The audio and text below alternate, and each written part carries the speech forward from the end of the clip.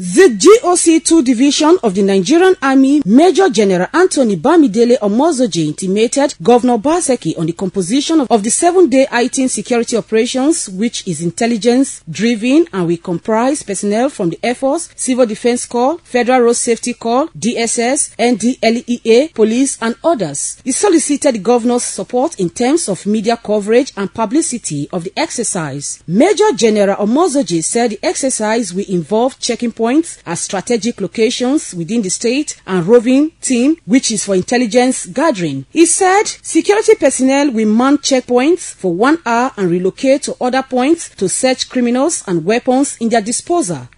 As we speak, Your Excellency, the planning team comprising representatives from all the agencies at the police headquarters working out the details of this seven days heightened security operations.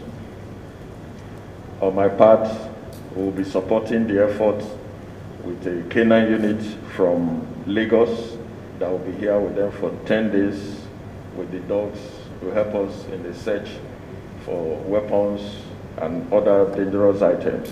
He also said this operation has been carried out in Osun, Kwara, Oyo, Ekiti, and now Edo State. Governor Obaseki assured the Army GOC of the state government's support in combating crimes. He told the Army General that the state government has data of all the inmates who escaped from the two Nigerian correctional facilities in Edo State, adding that in due course the government would display their names, photographs, and that of their next of kings on social media and all the television stations in the state. He said the state government is set to give out phone numbers to the general public to assist security agencies with useful information to fight crimes in the state. Uh, first, we have a subsisting curfew in Edo, which has been, breached. And to support and, and align with this seven-day heightened security efforts, we are reinforcing the curfew from 10 p.m. to 6 a.m. daily. Please, the town should be on lockdown and anybody found outside within those periods should be dealt with according to law. We will be increasing consultations with our various stakeholders, traditional rulers, youth groups, religious leaders over these next seven days uh, to sensitize them and also to solicit for their support cooperation and information.